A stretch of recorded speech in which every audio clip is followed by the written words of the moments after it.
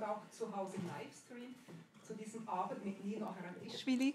Das mangelnde Licht heißt, der, heißt das Buch, ist vor einigen Monaten in der Frankfurter Verlagsanstalt erschienen. Liebe Nina, es ist eine Freude, eine Ehre, Sie heute Abend hier zu haben. Ganz herzlich willkommen. Vielen Dank. Und äh, ich freue mich auch sehr, Simon Leuthold zu begrüßen. Simon Leuthold wird als Moderator durch den Abend führen. Herzlich willkommen, Simon Leuthold. Danke. Mein Name ist Isabel von Land und ich bin mitverantwortlich für das Programm des Literaturhauses. Nino Haratischvili war schon mehrfach zu Gast hier im Haus. Sie war äh, das erste Mal 2014 da. Das war mit dem Buch Das achte Leben für Brilka. Dann wieder 2018 Die Katze und der General. Jetzt mit Das mangelnde Licht. Wir haben so den unbewussten Vierjahresrhythmus bisher eingehalten. Und äh, auch der neue Roman hat wieder ganz, ganz viele begeisterte Leserinnenstimmen ausgelöst. Und ich möchte eine stellvertretend heute Abend vorlesen. Sie ist von Katja Weise im NDR. Das mangelnde Licht ist ein furioser Roman, in dem viel Schatten ist, in dem Haratischvili Abgründe gekonnt ausleuchtet, doch das Licht geht trotzdem nicht aus. Wie schon in das achte Leben webt sie ihre Geschichten zu einem großen Teppich mit faszinierendem Muster und am Ende wird es tatsächlich hell. Und äh, ich habe das Zitat ausge ausgesucht, weil es mich an mein Lesererleben erinnert hat, weil ich einerseits fand, es ist faszinierend, wie das Schwere neben dem Leichten steht und das Glück neben der Verzweiflung, Trauer und Freude eben das Licht und die Abwesenheit von Licht. Und äh, auch das Bild vom Teppich hat mich sehr angesprochen, weil ich fand, äh, Sie oder dich zu lesen, ist ein bisschen wie von einem Wandteppich stehen, zehn auf zwei Meter. Es gibt ganz, ganz viele Szenen, ganz viele, ganz viele Figuren man geht dann davon weg und sieht die ganze Geschichte und denkt immer noch, dass es eigentlich sehr viel mehr Geschichten hinter dieser einen großen Geschichte noch hat. Und äh, bevor ich noch mehr erzähle, möchte, möchte ich einfach jetzt ins Buch das Gespräch eintauchen. Simon Leuthold wird gleich mehr zur Autorin sagen. Simon Leuthold gehört zur Literaturredaktion des äh, Schweizer Radios SRF. Er ist einer der Gastgeber des neuen Podcasts Zwei mit Buch. Er war auch schon moderierend im Literaturhaus zu Gast, das letzte Mal vor einem Jahr plus minus mit der japanischen Autorin Sayaka Murata. Schön sind Sie alle da und äh, viel Vergnügen.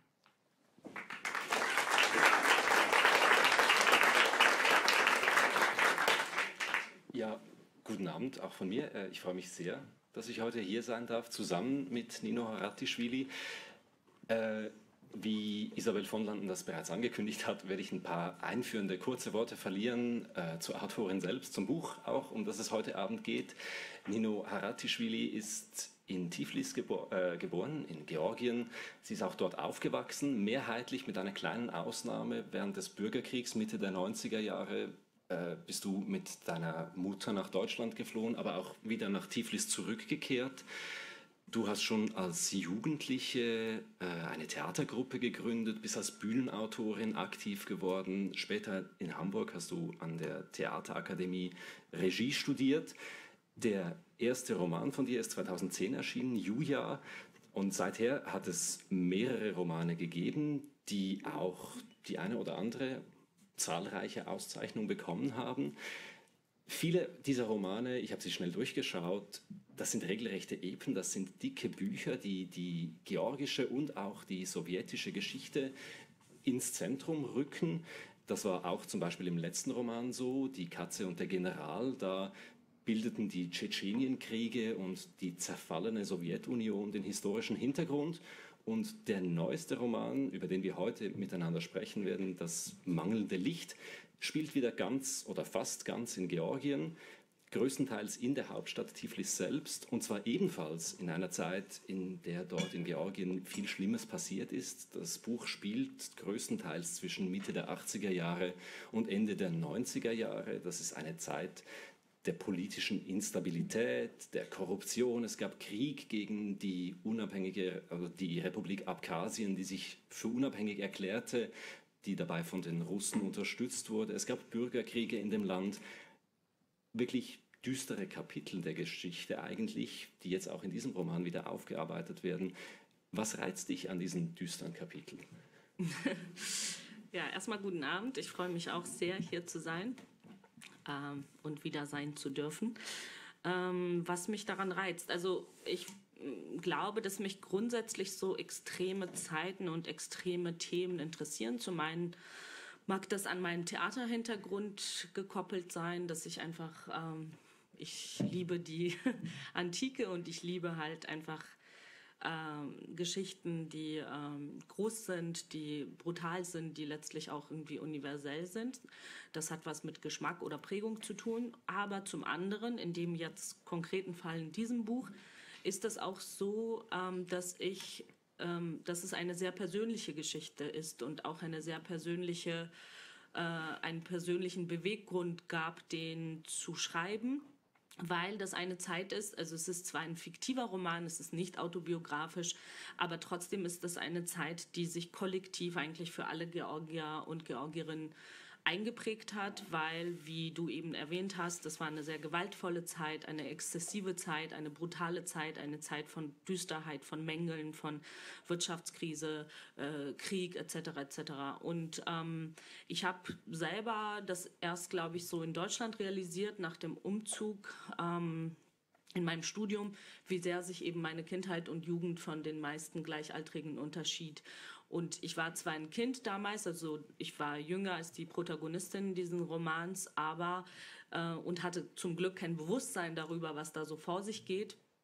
Aber später, als ich das eben nach und nach anfing zu realisieren, habe ich gemerkt, ähm, ja, wie extrem diese Zeit war und ja, wie sie einen dann doch geprägt hat, auch wenn man glaubt, sie damit irgendwie abgeschlossen zu haben und in irgendeiner Form ja auch halbwegs heil da rausgekommen ist.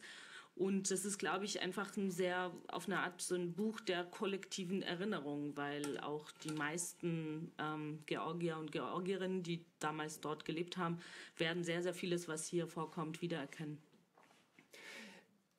Dieser Roman hat ja, also du hast gesagt, die, die Hauptfigur sind aber eigentlich, wenn man es genau nimmt, sind es ja vier Hauptfiguren. Es gibt eine Ich-Erzählerin, die heißt Keto. Äh, dann gibt es noch drei gute oder beste Freundinnen von dieser Keto eigentlich, Nene, Ira und Dina. Die drei lernen sich in der Schule kennen, auch in der Wohnsiedlung, wo sie aufwachsen, zum Teil miteinander. Und um die dreht sich dieser ganze Roman. Die stehen im Zentrum. Vielleicht stellst du uns die vier schnell ein bisschen vor. Was macht die als Menschen aus? Ähm, genau, im Grunde ist das ein Buch über eine Frauenfreundschaft, die sehr äh, durch sehr extreme Zeiten ähm, oder vor sehr harten Prüfungen gestellt wird und auf sehr harte Proben. Ähm, die Erzählerin Keto ist die introvertierteste von diesen Vieren. Wir lernen sie bereits als Kinder kennen und dann begleitet man sie bis ihren 50ern. Ähm, und sie lebt mit, sie hat, also ihre Mutter ist gestorben, sie lebt mit ihrem weltfremden Wissenschaftler, Vater, ihren zwei ebenfalls ein bisschen kruden Großmüttern und ihrem äh, wilden, zornigen Bruder in diesem typischen alten sogenannten italienischen Hof in der Tbiliser Altstadt.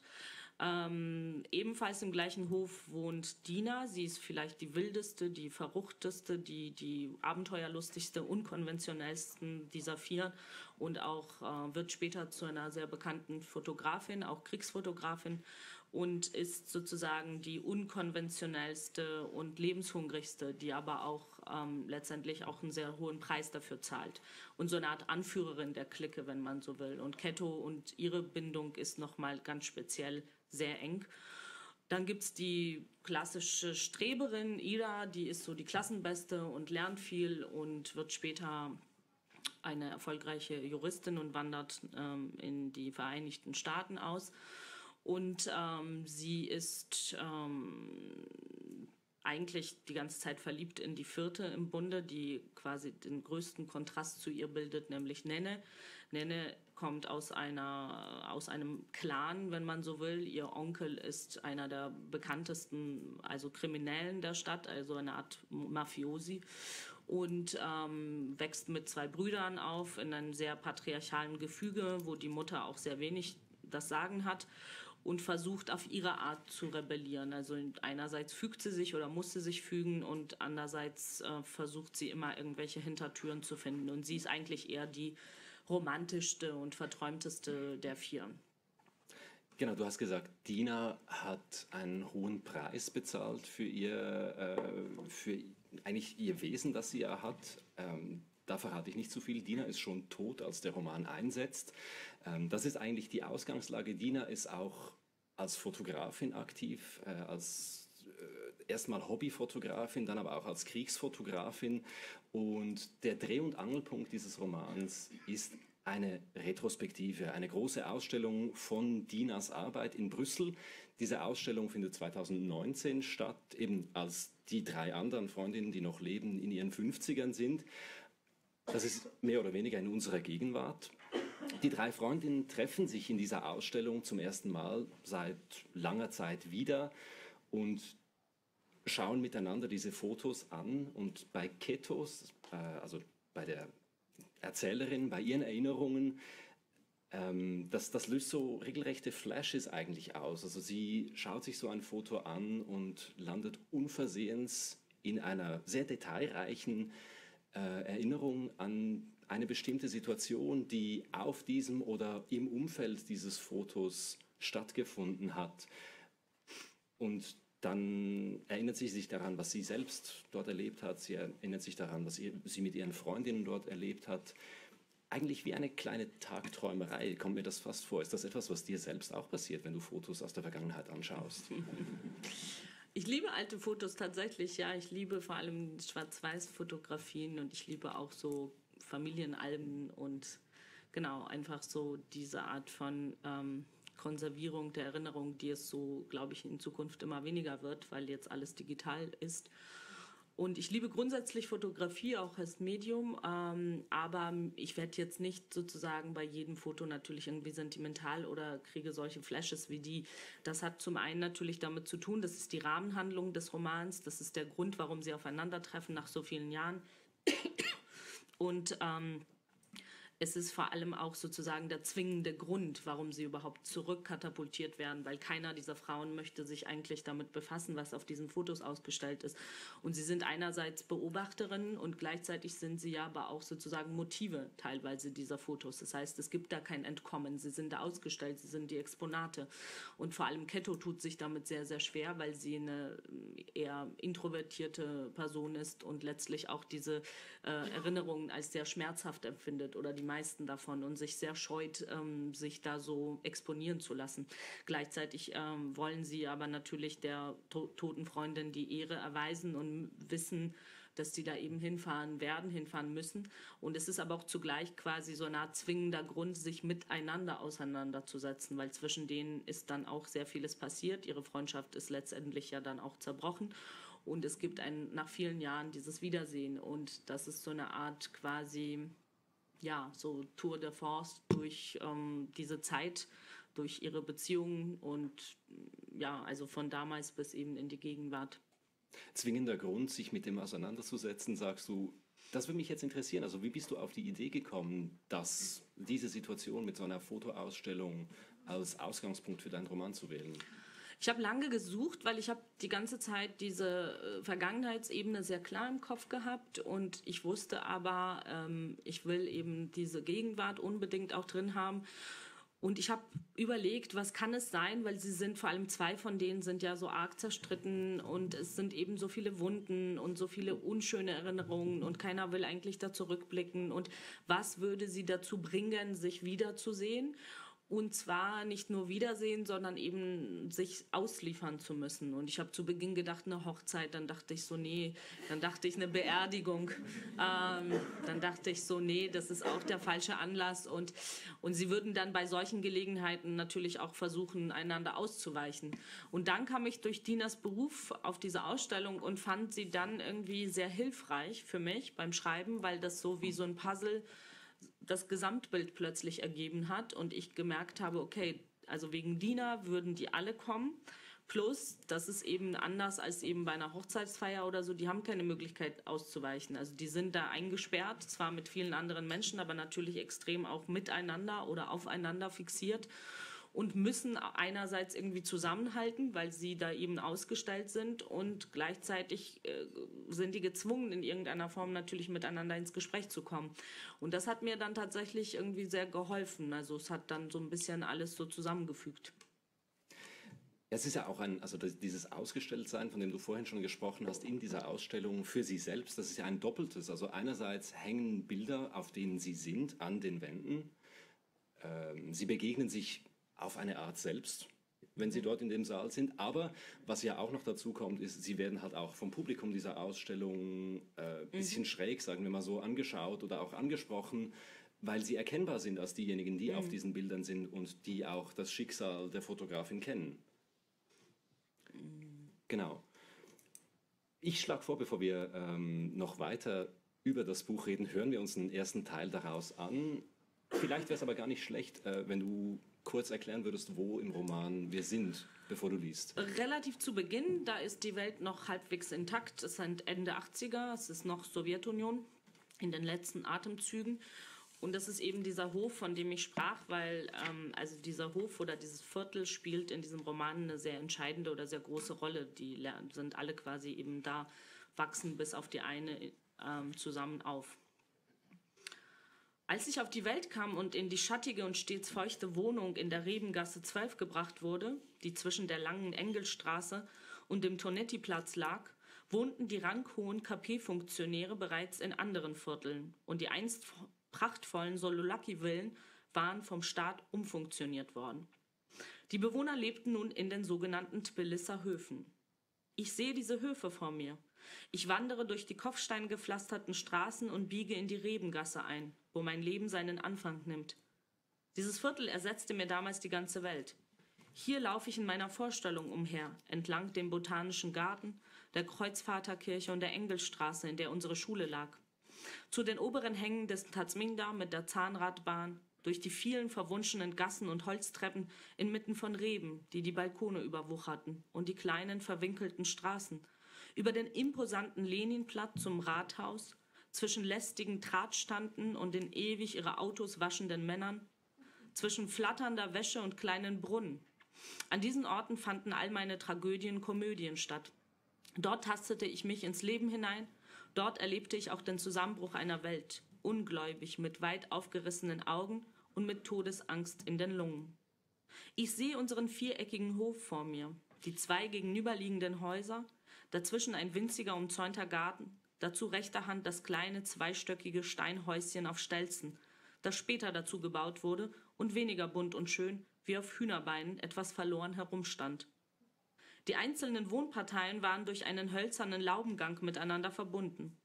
Während unser Haus dreistöckig und mit den schnörkeligsten Laubengängen versehen war, war das gegenüberliegende Backsteinhaus erst um die Jahrhundertwende gebaut worden und der solideste Bau des Hofs. Mit Efeu bewachsen, zweistöckig, davor Metallbalkone und blumige Verzierungen. Das eigentliche Leben der drei Hausgemeinschaften fand entweder in den Laubengängen oder im Hof statt.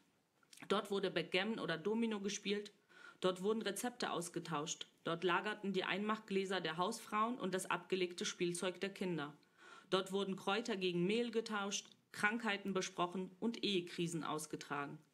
Dort wurden Liebschaften entlarvt. Fast alle der hölzernen Wohnungstüren hatten Glasfenster, so dass alle, allen Hofbewohnern klar war, dass jegliche Abschirmung von vornherein eine Illusion darstellte. Es gab immer einen an Schlafstörungen leidenden Nachbarn, der jedes Kommen und Gehen unabhängig von der Uhrzeit registrierte, dem jeder Streit zu Ohren kam und der jede leidenschaftliche Versöhnung zu kommentieren wusste. Der Hof war ein Organismus, in dem die einzelnen Wohnparteien die Organe bildeten, alle miteinander verbunden, alle notwendig, um den Körper am Laufen zu halten. Erst später kam mir der Verdacht, dass die Kommunisten bei der Wohnungsverteilung ihr Augenmerk darauf richteten, in diesem Mikrokosmos viele verschiedene Berufsgruppen anzusiedeln, die sich gegenseitig aushelfen konnten, damit dem Staat möglichst wenig Belästigung und Aufwand entstand. Wurde einer krank, wurde er hofintern versorgt. Brauchte jemand Strümpfe, die nur unter dem Ladentisch verkauft wurden, regelte man das auch untereinander. Wollte sich jemand gute Noten kaufen, um an der Universität studieren zu können, wurde das auch nachbarschaftlich geklärt. Der Hof war ein Staat im Staat, ein auf den ersten Blick vorbildlich sozialistischer. Alle waren gleich, mit denselben Rechten ausgestattet, unabhängig von Ethnie und Geschlecht. Aber natürlich war das auch nur eine Scheinrealität. Im Grunde hatte jeder seinen Platz in diesem Konstrukt und jeder wusste über seine Privilegien Bescheid. Und so würde der armenische Schuster Artyom nicht einmal im Traum darauf kommen, seine Füller nach einer Georgierin aus einer Akademikerfamilie auszustrecken. Genauso wenig würde die Fabrikantenfamilie Tatischwili die kurdische Familie von rechts gegenüber zu sich einladen. Sogar wir, die Kinder des Hofes der Rebengasse, hatten diese ungeschriebenen Gesetze verinnerlicht, ohne uns selbst dessen bewusst zu sein. Wir ahmten einfach die Erwachsenen nach, wobei die Tatsache, dass wir den kurdischen Tarik beim Verstecken und bei Himmel und Hölle mitspielen ließen, obwohl uns eingetrichtert wurde, dass er schmuddelig war, eine Lernschwäche hatte, seinen Schnodder aß und weggeworfene Kaugummis kaute, einzig und allein darin begründet lag, dass es sich gut anfühlte, jemanden wie ihn in unserer Nähe zu dulden. Denn auch das war eine Eigenheit unseres Hofes, unseres Viertels, ja vielleicht unserer Stadt. Wir wollten immer um jeden Preis gemocht oder geliebt werden. Und wir wussten, dass es sich gut machte, einen Schwächeren zu beschützen, in dieser Mehrvölkerstadt, die seit Jahrhunderten mit den anderen koexistierte. Schließlich waren wir doch die besten Gastgeber und die tolerantesten Nachbarn. Wir krümmten niemanden ein Haar und luden alle zu uns ein. Wir bewirteten sie und lachten ihnen ins Gesicht. Aber wenn sie wieder gingen, atmeten wir erleichtert auf und rümpften die Nase über ihre Tischmanieren oder ihre derbe Art. Die anderen waren immer ein wenig schlechter, ein wenig gröber, ein wenig dümmer, ein wenig benachteiligter als wir. Unsere Wohnung war meiner Großmutter väterlicherseits, die wir Babuda I nannten, nach der Rehabilitierung ihrer Familie überlassen worden. Sie hatte hohe Decken und feuchte Wände, schnörkelige Balkone zur Straßenseite und tropfende Wasserhähne, gegen die jeder Handwerker machtlos war. Hier wuchs mein Vater auf. Dorthin brachte er auch meine Mutter, nachdem sie Moskau den Rücken gekehrt hatten. Dorthin brachte man auch meinen Bruder und fünf Jahre später mich, nachdem wir in einem kahlen Kreissaal irgendwo in Bahnhofsnähe das Licht der Welt erblickt hatten. Der Laubengang im zweiten Stock gehörte nicht nur zu unserer, sondern auch zur Wohnung von Nadja Alexandrowna, eine alleinstehende, kinderlose Witwe, von der wir uns nicht vorstellen konnten, dass sie jemals jung gewesen war. Und die den fatalen Fehler begangen hatte, sich während ihrer Studienzeit an der Moskauer Lomonossow-Universität in einen georgischen Gitarrenlehrer zu verlieben. Sie verlor ihren Kopf und ihren Verstand und reiste ihm in seine sagenumwobene Heimat nach, die von vielen ihrer dichternden Landsleute besungen und bewundert worden war. Nachdem die stürmische Liebe verklungen und die kopflose Leidenschaft abgeebt waren, quartierte der Gitarrenlehrer seine russische Trophäe bei seiner älteren Schwester ein und verschwand wochenlang in den Armen anderer Damen. Eine Etage tiefer im ersten Stock wohnten die Basilias. Was aus ihnen geworden ist, die voluminöse Nani, nebenberuflich Verkäuferin in einem städtischen Gastronom, hauptberuflich Schwarzmarkthändlerin und die gewiefteste Frau des ganzen Hofs. Ich erinnere mich an die bunten Kittel, die sie immer trug. Sie schaffte es wahrlich, mit allen und allem Handel zu treiben. Bat man sie um ein bisschen Salz, wollte sie im nächsten Augenblick ein halbes Kilo Reis als Gegenleistung. Sie konnte jeden dazu überreden, irgendetwas zu kaufen. Und vor allem die Frauen des Hofs waren ihr hörig, nahmen ihre Übellaunigkeit, ihre derbe Art geduldig hin denn gegen eine angemessene Bezahlung konnte sie alles auftreiben, was das Herz begehrte und was der sowjetische Staat nicht hergab. Von Kinokarten für eine geschlossene Filmvorführung bis hin zu tschechoslowakischer Unterwäsche. Von ihrem Mann Daniel war meist nur der imposant behaarte Rücken zu sehen, denn auch in seiner Freizeit war er unermüdlich an seinem Kammersauto zugange, der zum Groll aller Kinder in meinem Hof parkte und beim Spielen störte. Ihr einziger Sohn, Besso, hatte weder das Talent seines Vaters noch das seiner Mutter geerbt. Er war ein langsamer Zeitgenosse, träge, bewegungsfaul, der sich immer zum Schritt kratzte und schon als kleiner Junge eine ausgeprägte Neugier allem Sexuellen gegenüber zeigte. Das ganze Erdgeschoss gehörte den Datischwilis mit ihrer geräumigen Wohnung, dieser nahezu unwirklich vorbildhaften Vorzeigefamilie, der man trotz ihrer übertriebenen Gastfreundschaft, ihrer Geselligkeit und den beeindruckenden Kochkünsten der Familienmutter im Hof mit großem Misstrauen begegnete. Die Ablehnung ging vor allem von den Vertretern der Intelligenzia des Hofes aus und war dem Beruf geschuldet, den der Familienvater ausübte. David, der Fabrikant, wurde immer nur der Zechavik genannt. Ein Wort, dessen Bedeutung ich erst viele Jahre später erfassen sollte. Der sowjetische Inbegriff für staatliche Verdorbenheit und Korruption. Diese Menschen waren die Kapitalistenschweine der Sowjetära und jedem ehrbaren Menschen ein Dorn im Auge. Hinzu kam, dass diese Familie eine Spur zu perfekt schien und so war man unermüdlich darum bemüht, Fehler und Probleme dieser Musterfamilie aufzudecken. Das Häuschen auf Stelzen, rechter Hand, auch das war ein unausgesprochenes Gesetz, beherbergte die Absteiger und Außenseiter. Dieses Gesetz wurde erst durch den Einzug von Dina und ihrer Mutter auf den Kopf gestellt.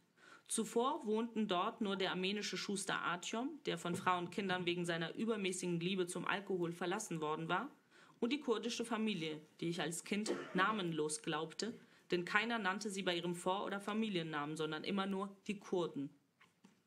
Mein Blick wandert weiter über das Bild unseres Hofes zur gegenüberliegenden Seite zum roten Backsteinhaus. Die Wohnungen im Roten Haus waren stabiler, schöner, sicherer. Die Bewohner des Roten Hauses waren Urgesteine des Hofes und man zollte ihnen besonderen Respekt.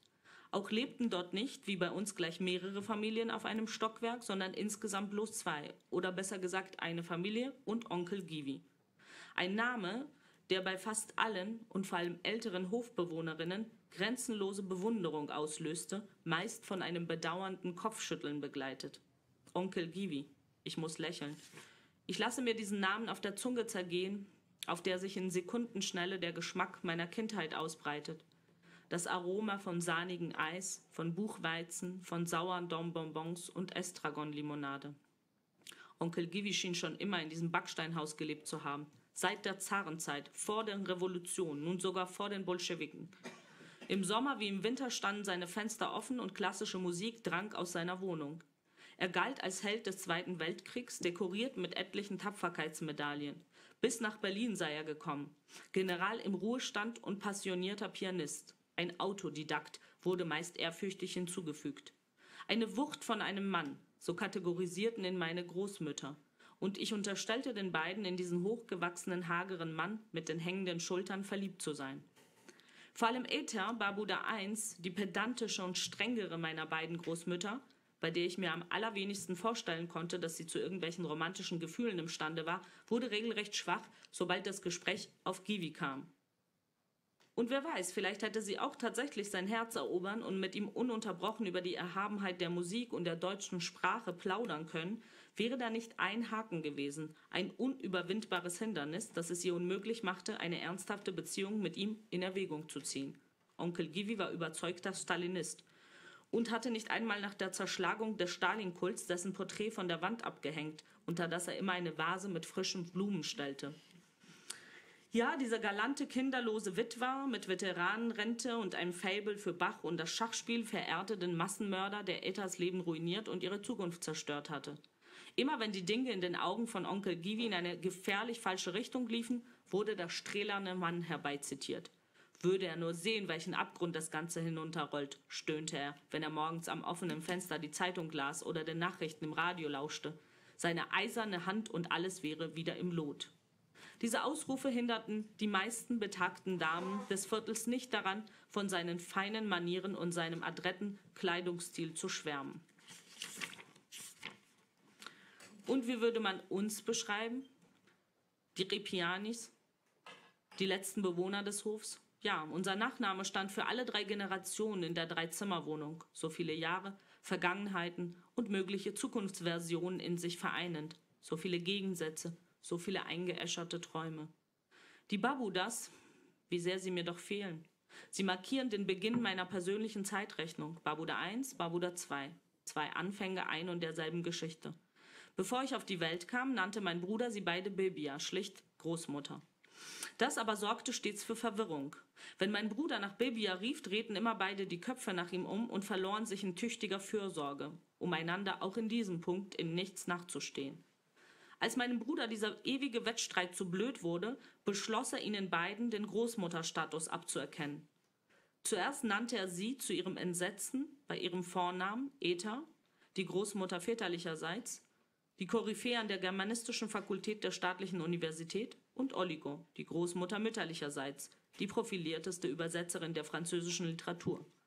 Später wählte er dann die Bezeichnung Babuda, Schwester des Großvaters, was keiner Logik folgte, aber auf eine sehr kindlich intuitive Weise den Konflikt entschärfte. Dazu nummerierte er sie auch noch durch. Eta wurde zu Babuda I und Oligo zu Babuda II. Denn ihr albernes Konkurrenzgehabe zog sich durch ihrer beider Leben wie ein roter Faden als gelte es alles, aber auch wirklich alles dieser koketten Rivalität unterzuordnen. Ich hätte allzu gern gewusst, wann sie damit begonnen hatten und vor allem wer von ihnen. Manchmal glaubte ich, dass sie nur auf die Welt gekommen waren, um sich gegenseitig das Leben schwer zu machen. Entschuldigung. Dass sogar meine Eltern nur aus diesem einen Grund geheiratet hatten, um diesen beiden eigenwilligen Seelenverwandten und Rivalinnen zusammenzubringen und keineswegs um meinen Bruder und mich zu zeugen oder in ihrer kurzen Ehe glücklich zu werden.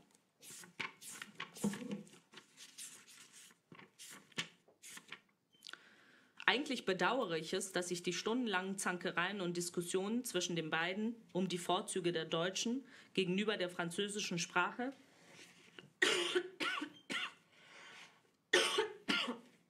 ich habe kein Corona. Äh, ich habe ich hab mir irgendeinen Infekt eingefangen und entschuldige mich für die Hustanfälle. Habe mich aber testen lassen. Eigentlich bedauere ich es, dass ich die stundenlangen Zankereien und Diskussionen zwischen den beiden um die Vorzüge der deutschen gegenüber der französischen Sprache nicht in irgendeiner Form dokumentiert habe. Es waren wahre Gladiatorenkämpfe, richtige Lehrstücke in der Disziplin des verbalen Duells. Welch absurde Argumente teilweise angeführt wurden, wer da nicht alles zitiert wurde. Goethe versus Racine, Voltaire versus Kant, Musil versus Proust. Diese Streitereien, diese nie endenden Argumente, dieses Gegenüberstellen von französischen und deutschen Tugenden war die ewige Begleitmusik meiner Kindheit. Und wir alle wussten, dass es in diesem Kampf keinen Gewinner geben konnte, dass immer der unbefriedigende Gleichstand bleiben würde. Schon deswegen ist Deutsch die wunderbarste Sprache der Welt, weil zwischen dem Leben und dem Lieben nur ein einziges kleines I steht, sagte Babuda I an einem sonnigen Morgen am Frühstückstisch. Mein Vater war in seine Zeitung vertieft, mein Bruder und ich zankten uns um irgendwas. Oliko hatte im Hintergrund Radio mit folkloristischem Kitsch laufen, also alles wie immer. Wir alle ahnten bereits die heraufziehende endlose Diskussion. Mutter, bitte nicht schon wieder und vor allem nicht jetzt, stöhnte mein Vater. Was denn, das muss nun mal gesagt werden. Eta sah zufrieden in Oligos Richtung, die so tat, als hätte sie nichts gehört, obwohl man merkte, dass sie ihrer Rivalin durchaus Respekt zollte und ihre Eröffnung recht gekonnt fand. Reichst du mir die Butter, mein Sonnenschein? wandte sich Oligo an meinen Bruder. Eta erwartete keine Lorbeeren, aber man spürte, dass sie diesen banalen Satz durchaus als einen kleinen Sieg wertete und aß zufrieden weiter. Doch kurz bevor wir uns alle vom Frühstückstisch erhoben, kam der Gegenschlag. Und wisst ihr, warum Französisch die schönste Sprache der Welt ist? Oligos funkelnde Augen streiften jeden einzelnen von uns. Dass wir in diese ewigen Diskussionen immer mit hineingezogen wurden, waren wir gewohnt. Wir waren die Arena, wir feuerten sie an. Ohne uns wäre das Spiel sinnlos und langweilig, weil nur im Französischen der Orgasmus als der kleine Tod bezeichnet wird. Mein Vater verschluckte sich an seinen Tee. Hast du jetzt vollkommen den Verstand verloren? Die Kinder sitzen mit am Tisch, echauffierte sich Eta auf der Stelle, aber sie schimpfte halbherzig. Man merkte, dass sie ihrer Gegnerin durchaus Anerkennung entgegenbrachte. Und was ist ein Orgasmus? fragte mein Bruder und strahlte die beiden älteren Frauen scheinheilig an.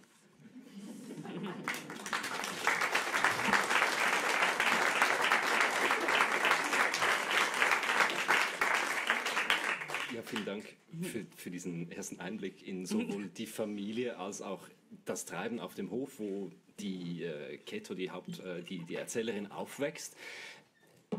Sie haben das bestimmt schon gemerkt. Ähm, spätestens, wenn Sie das Buch aufschlagen, merken Sie es dann schon. Äh, der Figurenkatalog in diesem Roman ist riesig. Also die Hauptfiguren, alle vier von diesen Freundinnen, haben große Familien mit vielen Geschwistern, mit Tanten und Onkeln, auch mit Großmüttern, eben die beiden Babudas, die spielen ja eine riesige äh, Rolle in diesem Buch.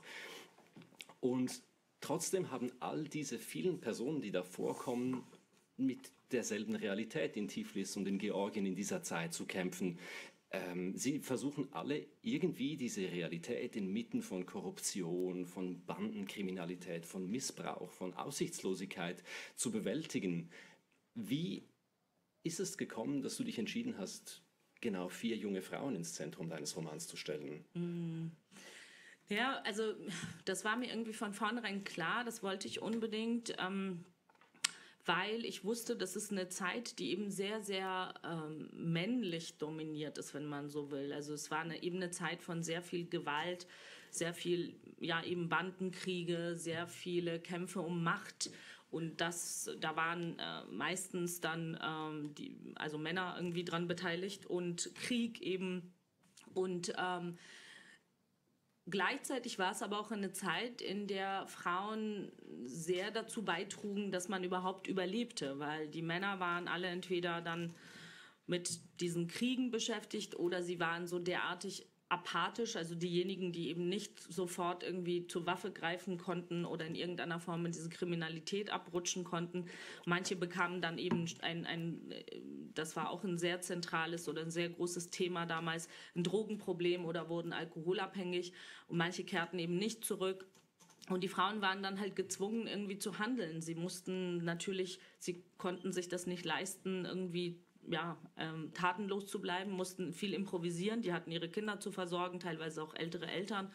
Und ähm, ich finde, dass, und viele sind leider dann auch sehr, viele bis heute auch ein akutes, großes Thema, sind dann halt auch äh, in Immigration gegangen, teilweise auch als Pflegekräfte und haben dazu beigetragen, dass man halt irgendwie, also dass die Familien überlebten.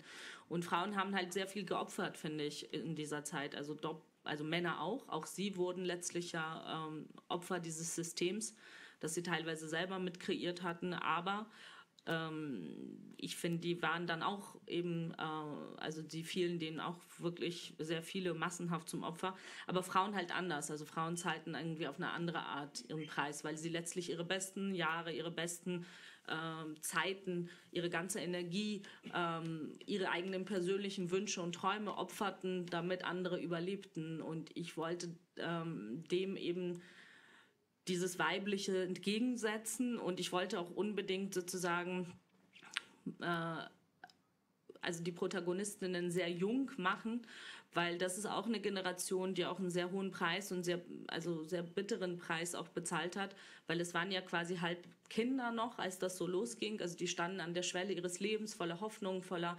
Erwartungen und dann wurden sie in diesen Reigen aus, aus Brutalität und Gewalt mit hineingerissen und mussten schlagartig wer, äh, erwachsen werden. Und es war mir wichtig, das eben aus dieser ähm, Frauenperspektive zu erzählen. Hm, das haben wir ja vorhin auch gehört, also in der Stelle, die du, die du eben gelesen hast, äh, dass die Kinder die Erwachsenen nachahmen müssen eigentlich, weil sie, wie du sagst, völlig unvorbereitet in diese doch ziemlich katastrophale Wirklichkeit hineinrutschen. Die Lebenswege, die diese vier Freundinnen dann einschlagen, insbesondere nach ihrer Schulzeit, die unterscheiden sich ja dann doch deutlich voneinander. Eben, ähm, äh, wie heißt sie? Keto bleibt, bleibt viel in, in Tiflis, entscheidet sich aber, sie entscheidet sich Restaur, äh, Restauratorin zu werden. Sie geht Kunstwerke, vor allem so Fresken in Kathedralen restaurieren. Das sind also ihre kleinen Fluchten. Dina entscheidet sich, Kriegsreporterin zu werden. Sie geht an die Front des, des Kriegs in Abchasien mhm. und schießt dort Fotos, kehrt total traumatisiert zurück. Ich hatte den Eindruck, bei eigentlich all diesen vier Lebenswegen ihrer auch. Sie geht nach Amerika und studiert dort. Irgendwo hat das alles auch mit Flucht zu tun. Also die immer wieder kommen, kommen die an Punkte, wo ich den Eindruck hatte, die versuchen auch dieser Realität irgendwie zu entfliehen. Stimmt das? Mm. Bestimmt. Also es war jetzt nicht so ein bewusster Gedanke beim Schreiben von mir, aber das ist definitiv nicht verkehrt, weil natürlich war diese Realität einfach sehr ähm, schwer auszuhalten und ich glaube, wir alle haben so unsere kleine Türchen irgendwie so im Hintergrund, wenn, wenn es einem eben nicht gut geht oder man irgendwie Probleme nicht gelöst kriegt, dass man halt manchmal natürlich, ähm, keine Ahnung, ähm, ja, tatsächlich aus der, dieser Realität auch irgendwie aussteigen will. will. Ähm, und äh, also ja, jeder versucht das so mit seinen Mitteln und äh, mir war es eben wichtig, sehr unterschiedliche Wege zu zeigen weil jetzt natürlich auch jeder sehr unterschiedlich damit umgeht. Mann. Ich wusste es, das ist immer davor nichts und danach wusste ich bestimmt auch nie mehr. Das ist kein Problem, erstmal tief Luft holen. Ja, eben, also diese, diese aussichtslose Situation, die irgendwie schon immer wieder da ist. Also insbesondere ist mir das aufgefallen bei Ketos äh, Leben. Wenn, sie weggeht, dann ist sie ein paar Monate an einem anderen Ort, was plötzlich wahnsinnig schön ist, wo, wo alles mhm. farbig ist, wo sie diese Bilder restaurieren kann. Und dann kommt sie zu, zurück nach Tiflis in diesen grauen, düsteren Moloch einer Stadt, wo alles sofort wieder furchtbar schlimm ist. Du selbst bist ja da aufgewachsen, du hast diese Zeit miterlebt dort, auch als Kind. Wie hast denn du selber diese Aussichtslosigkeit erlebt? Vielleicht auch, also hast du eine Ahnung, woher sie kommt? Naja, ich meine, es gab sehr wenig Aussicht tatsächlich, also ganz real gesehen. Es gab keine Arbeit, es gab kein Geld, es gab keine äh, Zukunftsperspektiven. Alle haben sich gegenseitig bekriegt. Dann war Russland irgendwie noch da und die ganze Zeit das äh, überall Blut vergießen, ähm, Drogen, Drogen, Drogen oder eben dann Alkohol und ähm, sehr wenig Möglichkeiten auch so für einen Jugendlichen oder so. Ähm, und das ist auch im wörtlichen Sinne dieser Titel, also in diesem Titel mit enthalten. Es war auch eine tatsächlich, ähm, also dunkle Zeit, weil ständig Stromausfälle, also es gab kaum Strom und kaum auch letztlich Gas. Haha, aktuelles Thema. Ähm, auf jeden Fall, äh, das, ähm, das war halt, also es war wirklich so im wörtlichen Sinne sehr aussichtslos und ähm, ich habe, ich war halt wirklich ein bisschen durch meine, was heißt bisschen, ich war durch meine Kindheit geschützt und ich bin sehr, sehr froh, dass ich eben diese Zeit nicht in dem jetzigen Alter erlebt habe, also nicht die Generation meiner Eltern irgendwie war und dann auch noch am besten irgendwie ein Kind zu versorgen äh, hätte, weil ähm, ich glaube, das, das hätte mich, keine Ahnung, fertig gemacht. Weil als Kind gewöhnt man sich halt irgendwie schneller dran, man hinterfragt das irgendwie auch nicht. Das war dann ein, plötzlich irgendwie normal, dass man halt zum Beispiel abwechselnd mit den Lehrern äh, in die Schule Holz mitbringen musste, damit wir überhaupt heizen konnten und Unterricht ab, ab also ähm, halten. Und es war auch normal, dass irgendwie geschossen wurde oder dass zwischendurch irgendwie russische Panzer in den Straßen äh, standen oder dass endlose Schlangen vor irgendwie Lebensmittelgeschäften waren. Das alles war irgendwie so da. Und da man halt nichts anderes kannte oder beziehungsweise, also ich kannte schon zwar, also davor irgendwie war es natürlich anders, aber da war ich eben noch zu klein, um mich irgendwie so genau zu erinnern. Und das ist natürlich irgendwie auch so ein Schutz, ähm, weil es ist einem eben nicht bewusst. Und gleichzeitig muss ich eben auch sagen, das ist mir beim Schreiben auch nochmal deutlicher geworden. Es war zwar einerseits eine wirklich sehr brutale Zeit, wo Menschen auch, also plötzlich ganz normale Jungs ähm, aus sehr bürgerlichen Verhältnissen in totale Kriminalität abrutschten, wo Leute zu Waffen gri also griffen. Und gleichzeitig aber war es auch eine Zeit von totalem Zusammenhalt. Also man hat sich sehr, sehr unterstützt. Freunde, Familie, es wurde alles unglaublich wichtig, weil man war aufeinander angewiesen. Ja, also du hattest irgendwie Mehl, ich hatte, keine Ahnung, Butter und so konnten wir halt irgendwie, weiß ich nicht, was backen. Ähm, und das, so lief das halt in allen Bereichen. Also man, man musste sich helfen, um irgendwie klarzukommen. Und ähm, ich erinnere mich immer zum Beispiel, dass wir hatten immer, immer, immer irgendwie Besuch. Also es waren immer irgendwie Freunde von meinen Eltern da. Man saß da bis bei, bei irgendwelchen Petroleumlampen und Kerzenschein bis irgendwie spät in die Nachtstunden, hat viel auch gelacht und ähm, geredet.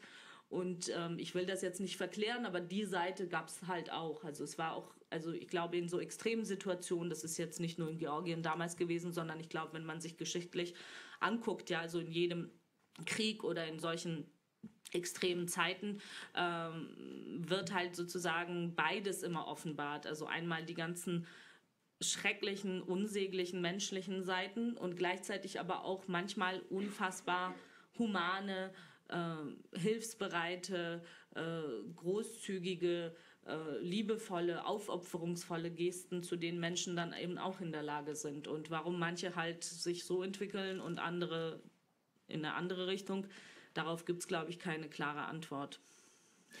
Das heißt also eben dieses, dieses mangelnde Licht, das hast ja du, Isabel, ganz zu Beginn auch schon gesagt. Es ist nicht nur, es gibt nicht gar kein Licht, mhm. es ist einfach wenig. Genau. ja, wenn wir mit dem Titel zurück zum Roman gehen, mir ist aufgefallen, dass die Erzählsituation ja relativ speziell ist. Wir haben das, haben das vorhin gesagt, äh, im Zentrum steht diese Ausstellung, in der die drei Freundinnen sind, von der aus sich Keto an die Vergangenheit, an, das, an ihr Leben miteinander und auch separat erinnert. Die Folge von dieser Anlage ist, dass es immer wieder, und zwar sehr viele und unvermittelte Zeitsprünge gibt. Also vom, vom, von unserer Gegenwart 2019 in dieser Ausstellung zurück eben bis in die 80er Jahre nach Georgien, hin und zurück, äh, wirklich so, wie wenn man mit dem Finger schnippen würde innerhalb eines Absatzes. Was hat dich an dieser Form gereizt? Naja, also ich meine, das Buch beschäftigt sich automatisch einfach ausgehend aus diesen ganzen Themen und weil es eben eine sehr konkrete Zeit ähm, verhandelt, beschäftigt sich natürlich, also das Thema war unumgänglich, wenn man so sagen kann, und zwar das Thema der Erinnerung. Ähm, wie erinnern wir uns an was? Wie subjektiv ist das? Wie weit ist überhaupt eine Erinnerung, gerade wenn es so eine trauma traumatische Erinnerung ist, teilbar, mitteilbar? Wie kann sie überhaupt beschrieben werden? Äh, dann ist die, was macht die Zeit zum Beispiel mit einer Erinnerung? Gewisse Lebenserfahrungen und manchmal, das kennen wir, glaube ich, auch, oder viele werden das von äh, uns kennen, dass man manchmal auch sich selber quasi, also dass die Erinnerung quasi ein bisschen mitformiert wird mit der Zeit, dass man was dazu dichtet oder plötzlich verschwindet was, plötzlich vermischt man Dinge. Also das heißt, auch die Erinnerung ist letztlich nichts so ähm, abgeschlossenes, was irgendwie fertig irgendwo in einem Schrank liegt, sondern das begleitet ja uns auch durch das Leben und die, je nach Erfahrungen und wie wir durchs Leben voranschreiten, so verformt sie sie auch. Und man hat ja auch ganz unterschiedliche Gefühle manchmal zu bestimmten Dingen. Also was weiß ich, mit 14 hasst man vielleicht irgendeine bestimmte Episode und findet die peinlich oder blöd und mit 30 kann man drüber lachen und hat ihr eigentlich äh, warme Gefühle, weil das dann wiederum mit der eigenen Jugend verbunden ist.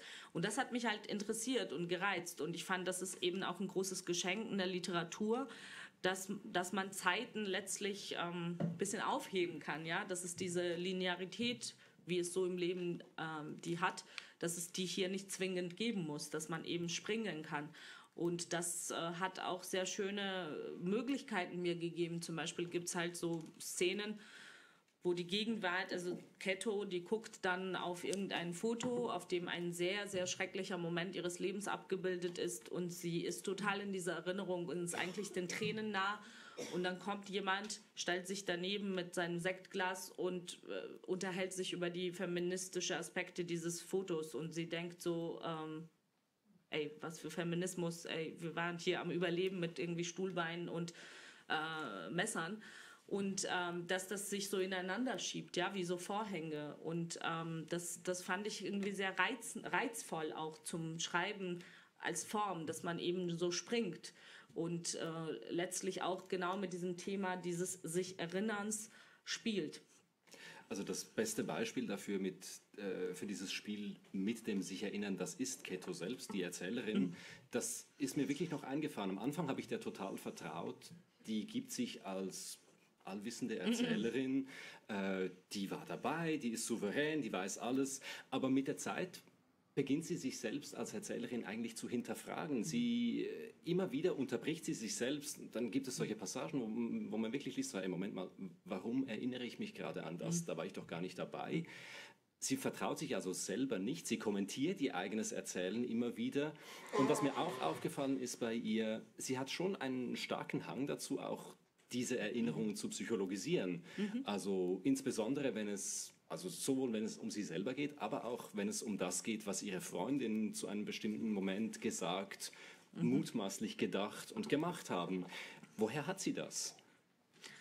Ich glaube, das ist ja so ein bisschen so ein, so ein innerer Bewusstseinsstrom. Also wenn man sich das jetzt so filmisch vorstellen würde, wäre es ja so, dass die halt, dass, dass sie wirklich dann den ganzen Abend in dieser Ausstellung ist, dort herumwandert, sich diese Fotos anguckt und immer wieder tatsächlich diese Flashbacks hat. Und ähm, sie ist grundsätzlich eine große Zweiflerin und auch misstrauisch, so sich selbst gegenüber, auch anderen Mitmenschen. Und das fand ich irgendwie naheliegend, dass sie immer mehr so in Schwanken kommt. Und es gibt ganz am Ende auch nochmal so eine Drehung, die möchte ich jetzt nicht verraten, nicht zu viel spoilern, aber wo man durchaus dann darauf schließen könnte, dass Keto eben nicht vielleicht die verlässlichste Erzählerin ist und dass es eben sehr subjektiv ist und dass jeder dieser äh, Freundinnen ähm, sehr an, also unterschiedliche Perspektiven auch irgendwie hat. ähm, dieses Psychologisieren, ich glaube, es gibt ein, also in Bezug auf Vergangenheit, das kenne ich auch von mir selber, ich glaube, es gibt bei vielen Dingen, die vielleicht so größer waren als wir, ja, Momente vom Glück oder Momente vom Schrecken, dass wir die irgendwie erfassen wollen. Wir wollen im Nachhinein äh, Dinge vielleicht besser verstehen oder in, in was tiefer eintauchen. Und in dieser Ausstellung ist es das für Keto. Also sie, ist, sie sagt ja auch, sie ist zu Beginn, hat sie noch sogar Fluchtimpulse und flieht auf Toilette und versucht dem Ganzen zu umgehen. Und dann irgendwann sagt sie, okay, ich ergebe mich, das ist jetzt wie so ein Tsunami und ich, ich kann das alles nicht aufhalten und ich werde das irgendwie über mich ergehen lassen müssen. Und vielleicht schaffe ich das, weil die zwei anderen auch da sind und ich bin eben nicht allein. Und trotzdem ist das ja irgendwie so ein ständiger Prozess, auch gerade weil es eben sehr traurige, sehr düstere Kapitel ihrer, ihres Lebens da irgendwie exponiert sind, dass sie einen ein Wunsch hat oder ein, ein inneres Bedürfnis, Dinge zu erfassen oder zu verstehen was man selten im Leben so hat, wenn das unmittelbar passiert. Mhm. Was natürlich auch passiert, wenn man eben merkt, okay, da ist jetzt eine Erzählfigur oder eine Erzählerin, der man nicht so ganz trauen kann. Also mich hat das verwirrt beim Lesen. Ist das ein gewollter Effekt? Na, ich wollte das so möglichst, also ich meine, klar, es ist ein Buch und es ist eine Geschichte und das ist natürlich sehr wichtig, dass man ihr auch so folgen kann und folgt.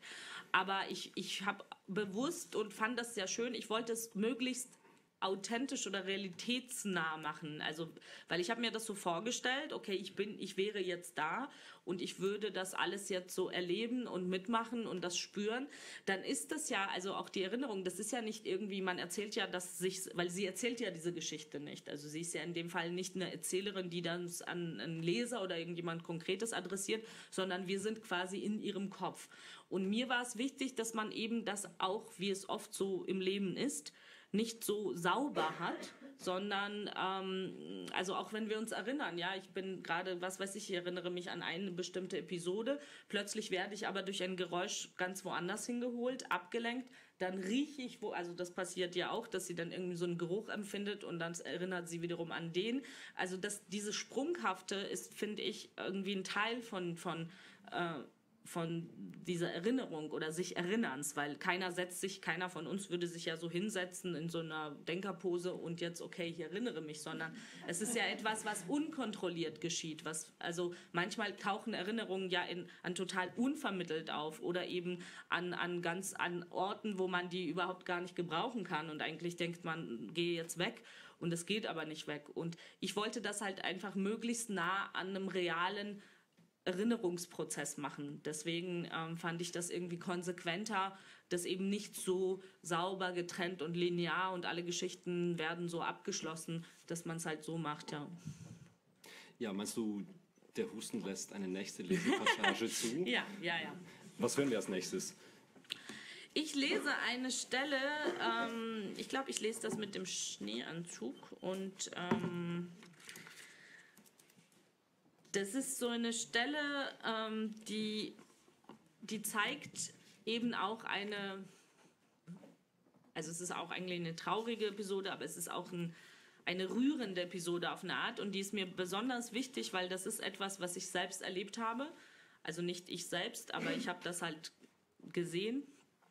Und das zeigt wiederum auch das, wovon ich vorhin versucht habe zu sprechen, von wie, wie Leute damals eben improvisiert haben. Also ähm, dieses Talent hat, glaube ich, sehr viele Georgierinnen und Georgier durch diese Zeiten gebracht und gerettet. Also dieses aus dem Nichts eben was machen oder machen müssen, gezwungen sein. Und dabei sind auch solche sehr fantasievollen und wie ich finde rührenden Situationen entstanden. Ich spüre ein merkwürdiges Frösteln, als hätte jemand in diesem majestätischen Saal die Fenster aufgerissen und anstelle der warmen Mailuft wäre eine arktische Kälte in den Raum eingedrungen. Ich lege beide Arme um mich, es wird gleich vorbeigehen, es sind bloß die Erinnerungen, die Bilder an den Wänden machen sie lebendig, sie kommen der Gegenwart gefährlich nah, sie lassen sie verblassen. Ich sollte mich ihnen widersetzen, sollte ihnen Einhalt gebieten, vielleicht sollte ich mich ebenfalls in eines der angeregt geführten Gespräche um mich herum verwickeln lassen. Ich sollte meinem Sohn eine Nachricht schicken, mich nach ihm erkundigen aber stattdessen taucht in mir jenes Bild auf, Sinnbild der damaligen endlosen Kälte.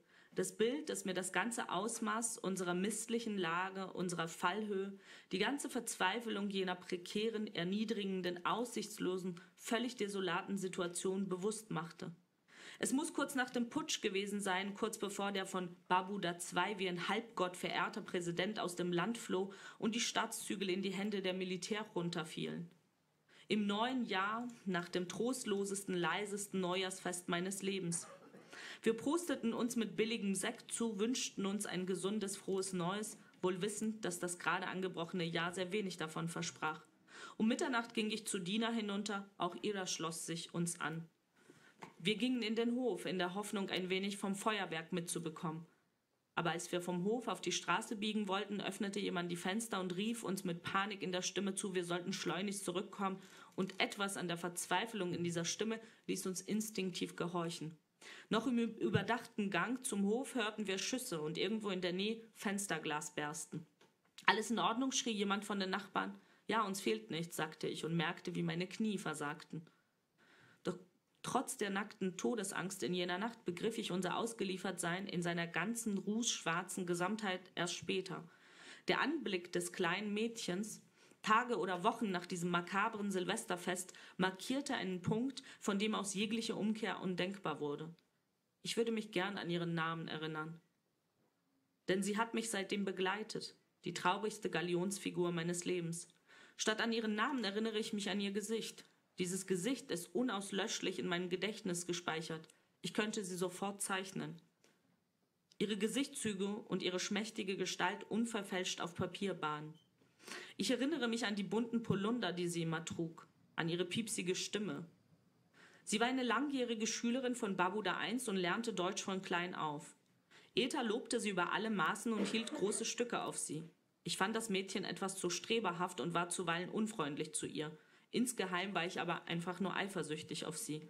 Sie kam mir wie die Idealenkelin meiner Großmutter vor.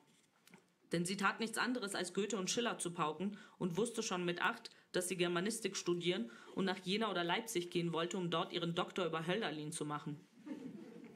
Trotz ihres Alters war sie äußerst ernst, als wäre sie bereits mit einem bedrückenden Wissen auf die Welt gekommen, das wie eine Last auf ihren Körper lag.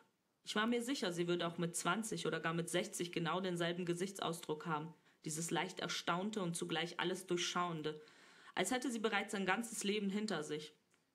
Sie hatte einen sehr aufrechten Gang und eine musterhafte Körperhaltung, als wäre sie in einem katholischen Internat groß geworden, trug streng nach hinten gekämmte Haare, die zu einem akkuraten Zopf geflochten und mit einer Schleife zusammengebunden waren, flache Schuhe, karierte Röcke und eben jene verschiedenfarbene Polunder, von denen sie zahlreiche zu besitzen schien.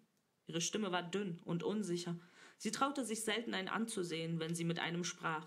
Und mein Bruder und ich machten uns einen Spaß daraus, sie noch weiter einzuschüchtern, indem wir sehr familiär mit ihr umgingen, sie bei der Begrüßung umarmten oder in kumpelhaften Ton anschlugen. Ich konnte damals eine ganze Weile nicht zur Akademie, die Vorlesungen fielen aus, da der Rustaveli Boulevard unpassierbar blieb und man den Unterricht wegen der Kampfhandlungen in der Nähe als zu riskant einstufte. Und so beschloss ich, nach Diromi zu fahren, da jemand erzählt hatte, dass es dort am Stadtrand Holz zu kaufen gab. Die Babudas versuchten mich davon abzuhalten, aber ich konnte und wollte nicht mehr warten. Ob ich hier erfriere oder draußen durch die Hand eines Putschisten sterbe, es kommt doch auf das Gleiche hinaus, rief ich etwas heroisch und rannte die Stufen zum Hof hinunter. Levan sollte mich hinfahren. Wo er das Benzin dafür aufgetrieben hatte, wollte ich nicht wissen.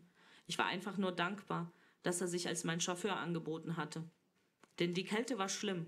Die Kälte zersetzte meine Gedanken. Nichts half mehr, keine Decken, keine Socken, keine Wärmflaschen und der Blechofen, den mein Vater von irgendwoher angeschleppt hatte, brauchte Holz, das wir nirgends auftreiben konnten, nachdem wir schon alles an Zapfen, alten Parkettstücken und Zeitungsstapeln verbrannt hatten. Die Kälte war der größte Feind, so schien es mir. Er hinderte mich daran zu zeichnen, zu denken, mich lebendig zu fühlen. Meine Hände glichen Krallen und meine Nase war so rot wie die eines Trinkers. Die Kälte war schlimmer als die Dunkelheit, schlimmer als die Panzer, schlimmer als das rationierte Brot, schlimmer als die elenden Fußmärsche.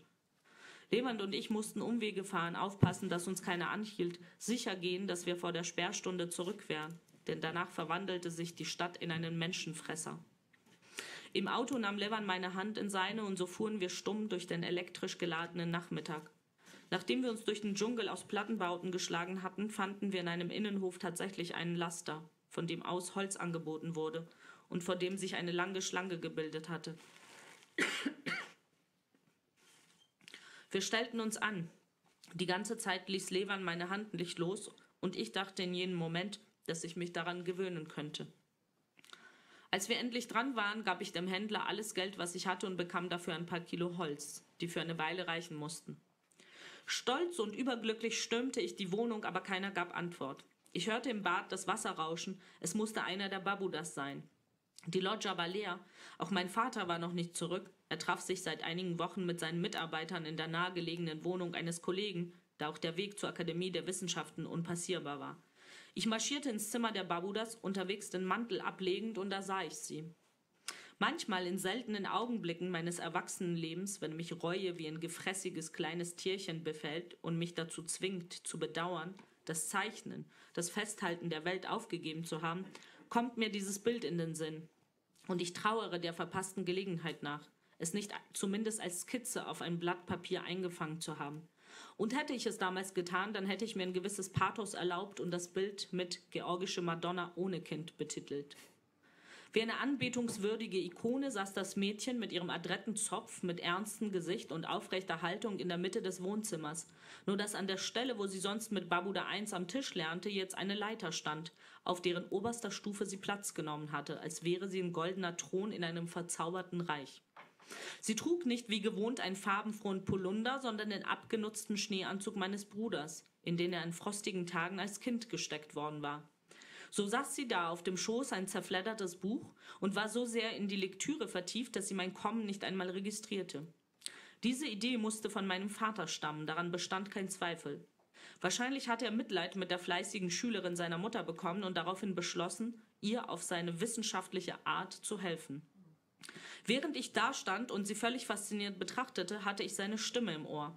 Wie lautet der zweite Hauptsatz der Thermodynamik? Wussten Sie, dass es möglich ist, mechanische, chemische oder elektrische Energie vollständig in Wärmeenergie umzuwandeln? Bestimmt hatte er vor dem Mädchen gestanden, wie vor einem imaginären Publikum, und mit weit aufgerissenen Augen doziert, dass warme Luft aufsteigt, weil ihre Dichte geringer ist als die kalter Luft. Und etwas an dieser Vorstellung ließ mein Herz sich zusammenziehen. Denn vielleicht war es die edelste und sinnvollste Tat seiner wissenschaftlichen Karriere das Mädchen in das wärmste Kleidungsstück zu stecken, das er finden konnte, es eine Leiter hinaufsteigen zu lassen und es so vor der gnadenlosen Kälte zu schützen, damit es weiterhin jene Verse studieren konnte, die seinem jungen, unbarmherzigen Leben womöglich den einzigen Sinn, die einzige Schönheit stifteten. Irgendwas an diesem Anblick, an diesem Gedanken war, nein, ist unerträglich rührend. Ich hielt die Holzscheiter in meine Brust gedrückt wie ein Baby und kämpfte gegen meine Tränen an.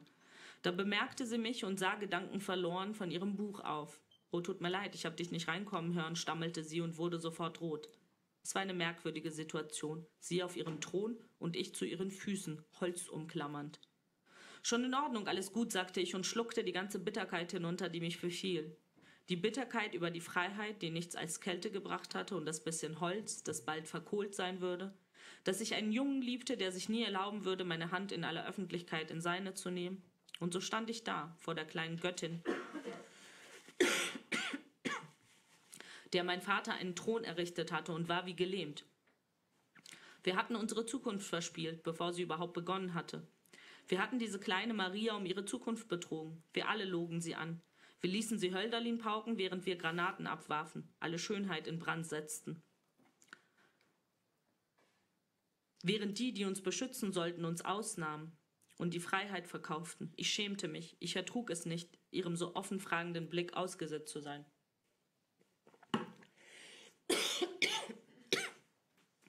Wie gern würde ich glauben, dass sie Ethas sehnlichsten Wunsch erfüllt hat und eine führende Germanistin geworden ist mit zwei Doktortiteln und einer Professur an der staatlichen Uni. Und nun andere für Hölderlin begeistert. Wie gern würde ich glauben, dass ihr das Leben nicht dazwischen gekommen ist.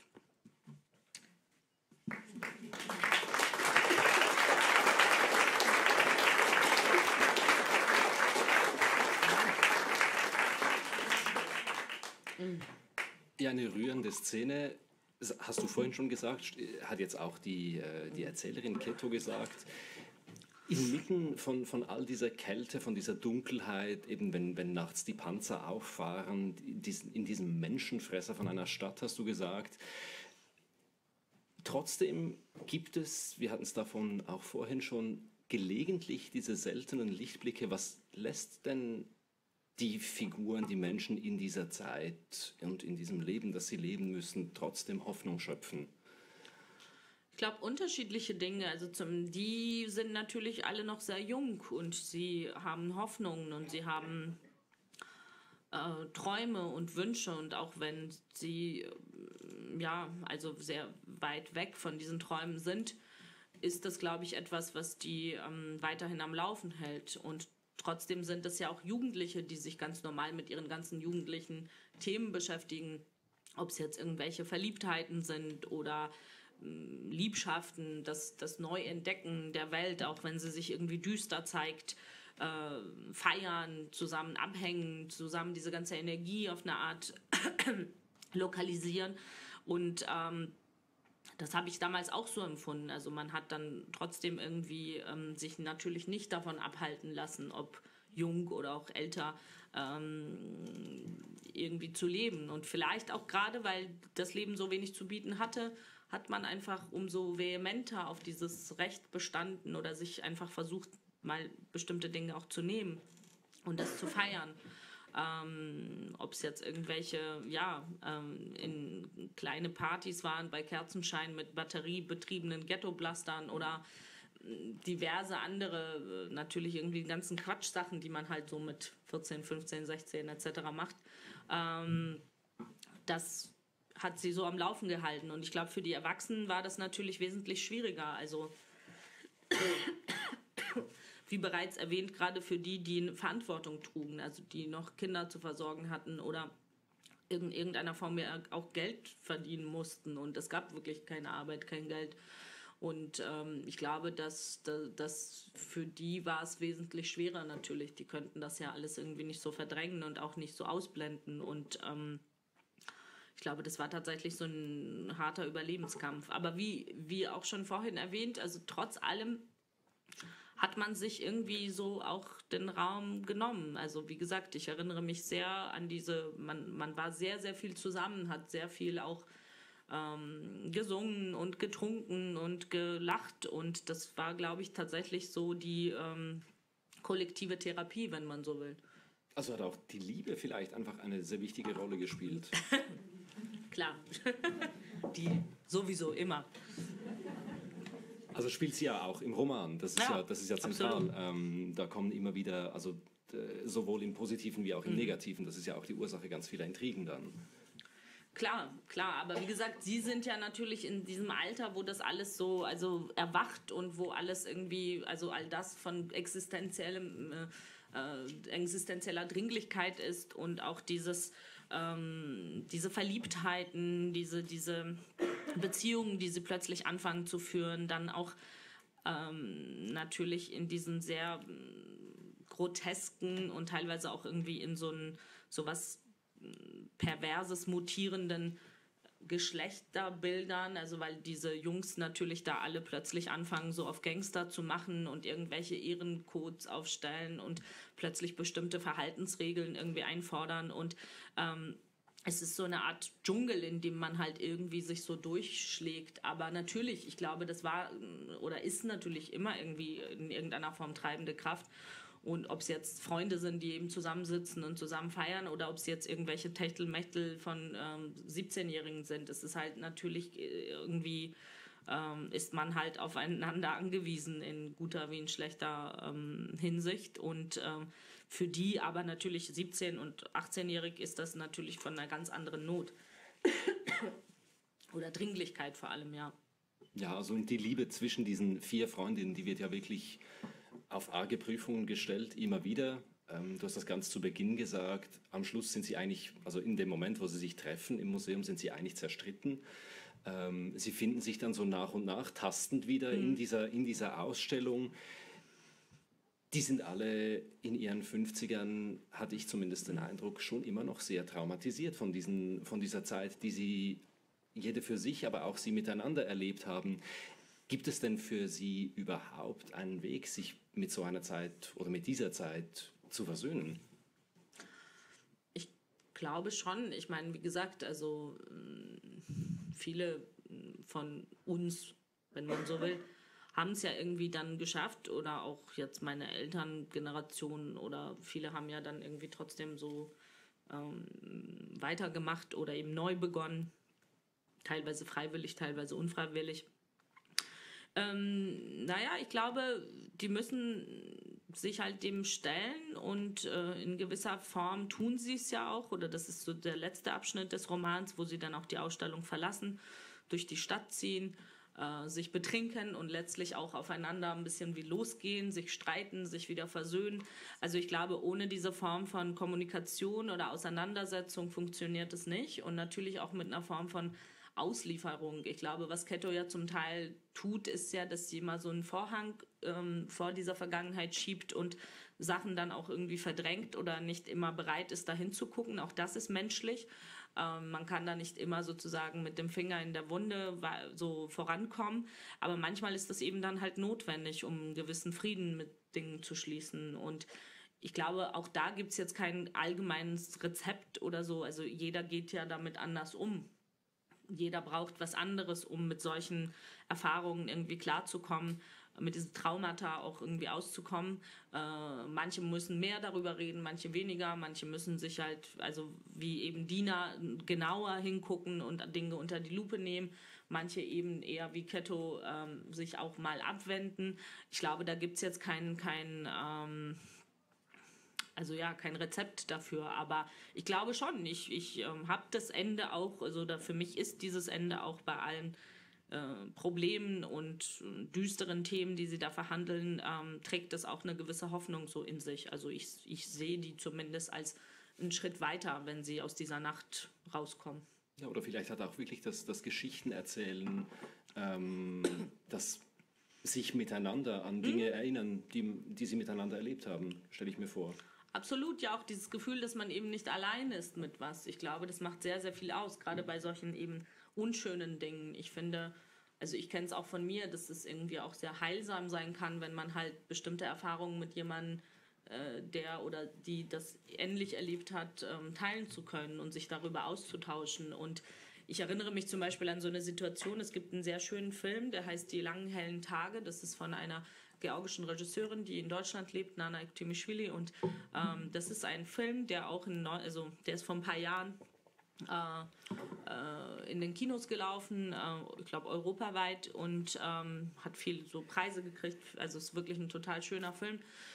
Und ähm, dort geht es um zwei so Teenager, noch ein bisschen jünger, so 14, 15, eben in diesen sehr düsteren äh, Zeiten. Und das, das ist so aus einer ganz anderen Perspektive erzählt, aber es ist ähm, eben, also verhandelt auch viel von, was damals so passierte und auch irgendwie dieses Gewaltthema. Und ich erinnere mich, ich war mal im Kino in Hamburg und ähm, wo der Film lief und da waren sehr viele Georgierinnen, so ähnliche Generation, die ich alle nicht kannte. Und es war so ein lauer Sommerabend, wir sind dann rausgekommen und saßen dann im Hof und da waren eben auch die... Ähm, Kinobetreiberin und noch so ihre Freunde. Also irgendwie kamen wir halt so ins Gespräch. Es waren überwiegend Frauen und es wurde zu so einer sehr großen, lustigen Runde von wahrscheinlich so 18, 20 äh, Menschen.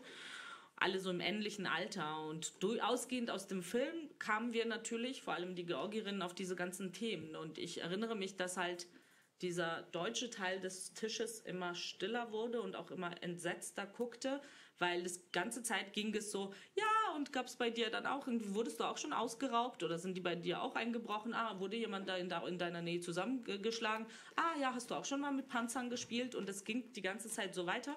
Aber das Absurde war, und das fiel mir erst selber in dem Moment auf und vor allem anhand der Reaktion der, der, äh, der Deutschen sozusagen, dass äh, wir das alles aber in so einem lustigen Plaudert, also es war alles so, ha ha ha ha ha. Und ähm, das war aber irgendwie nicht so gestellt, sondern ich glaube, das kam deswegen und das ist mir da in dem Moment auch bewusst geworden. Also das haben wir jetzt nicht so extra gemacht, sondern ich glaube, weil wir alle über unsere Kindheit oder eben Jugend sprachen. Das heißt, eine Zeit, die eigentlich toll und schön ist, ja, oder toll und schön sein sollte, ähm, ist sie natürlich nicht immer, aber äh, wo man irgendwie eben so jung ist und unbeschwert und so viel Quatsch macht und so viele Verrücktheiten im Kopf hat. Und ich glaube, dass bei all diesen schrecklichen Erinnerungen wir trotzdem das mit so einer Leichtigkeit erinnert haben. Und das ist mir da irgendwie so auf, also, und es war so schön, weil, ähm, wie gesagt, obwohl ich all diese Menschen nicht kannte und sie zum ersten Mal sah, ähm, war man plötzlich sofort bei diesen sehr extremen Erfahrungen, sehr extremen äh, Erinnerungen. Und das hat was natürlich damit zu tun, dass wir halt diese Erinnerungen auch kollektiv teilen, ja. Hm, also geteilte Erinnerungen oder eben auch, was du ganz zu Beginn mhm. gesagt hast, was Universelles dann wieder, was, was in diesem Buch drin ist, ja. Genau. Ja, Magst du uns zum Schluss noch eine letzte Stelle lesen? Ja. Ne. Wir hatten vorhin ja über die Liebe gesprochen. Mhm. Und wenn ich richtig informiert bin, geht es in dieser Stelle auch um die Liebe. Mhm. Darum, wie diese Liebe funktioniert. Absolut. Es geht um eine sehr spezielle oder auch vielleicht beschädigte Art von Liebe, aber dennoch Liebe.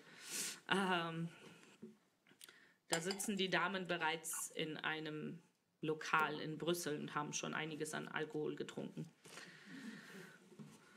Ich habe nach meinem Umzug nach Deutschland immer penibel darauf geachtet, meine Mitmenschen nicht allzu sehr zu verstören. Ich habe jeweils nur das Nötigste preisgegeben und meine Worte akribisch abgewogen. Ich habe mich darin geübt, sie mit meiner Vergangenheit nicht über die Maßen zu schockieren, mir stattdessen die Spielregeln einer friedlichen Welt gut und schnell angeeignet. Ich habe mit meinem altertümlichen Deutsch und dem später erlernten Fachenglisch stets Sympathien geerntet. Ich habe meine Arbeit emsiger, hingebungsvoller ausgeführt als viele Kollegen. Ich habe mir nichts zu Schulden kommen lassen. Ich habe es mir zur Aufgabe gemacht, ordnungshöriger zu sein als jeder andere und bin meinen Bürgerpflichten mit einer nahezu devoten Verantwortung nachgekommen. In den ersten Jahren in Europa habe ich es als großes Privileg empfunden, genau dies tun zu können, tun zu dürfen, was uns all die Jahre zuvor verwehrt worden war. Die neu erlangte Selbstbestimmung in Deutschland erschien mir wie ein unverdientes Geschenk und ich habe daraus Mut und Energie geschöpft, so gut ich konnte. Ich habe mein Bestes gegeben, um meinem Kind die Albträume meiner Vergangenheit nicht zu vererben. Ich habe mich darin geübt, ein gehorsamer Diener meiner Freiheit zu werden. Die Privilegien, die ich selbst in meiner Jugend niemals genießen durfte, konnte ich meinem Sohn in Gänze bieten. Ich war eine verständnisvolle Freundin, eine verantwortungsvolle Kollegin, manchmal auch eine liebevolle Frau. Ich habe immer darauf geachtet, besser, netter, entgegenkommender zu sein, um anerkannt, um akzeptiert, um gemocht zu werden.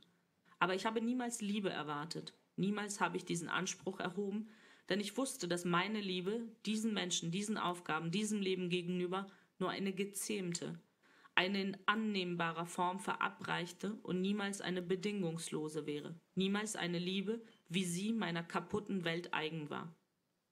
Meine Liebe habe ich in einer Welt zurückgelassen, die nicht mehr existiert und die mich heute Abend von diesen imposanten Wänden angestarrt hat.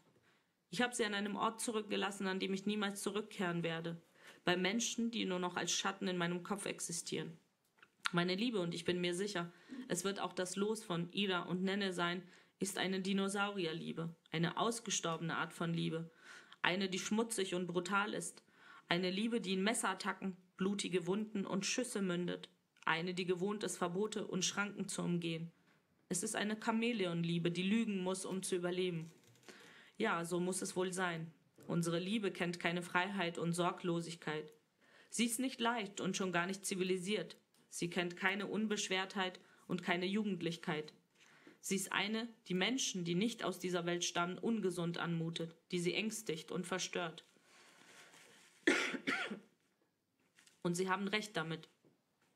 Aber ich kann sie nicht verraten, mich nicht von ihr lossagen, denn diese Liebe ist die einzige, die ich habe.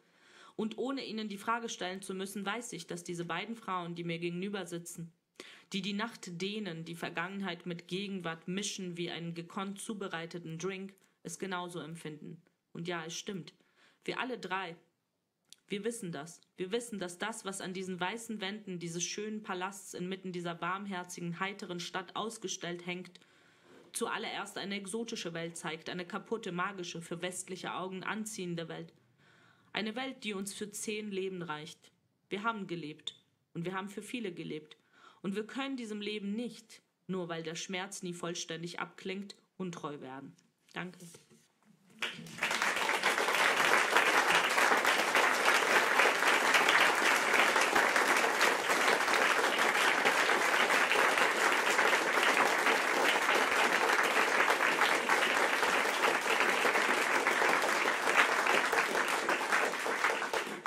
Und mit diesem eindrücklichen Bild der Dinosaurierliebe entlassen wir Sie nach draußen. Es ist immer noch hell. Herzlichen Dank, Nino Haratischvili, für das spannende Gespräch. Danke an Sie alle, die Sie hier waren und uns zugehört haben oder die im Stream zugeschaut und zugehört haben. Danke ans Literaturhaus, danke Isabel, dass wir hier sein durften. Vor der Tür erwartet Sie der Büchertisch der Buchhandlung Hirslanden. Ich glaube, Nino, du wirst auch Bücher signieren, wenn man das möchte. Genau. Natürlich. Schönen Abend.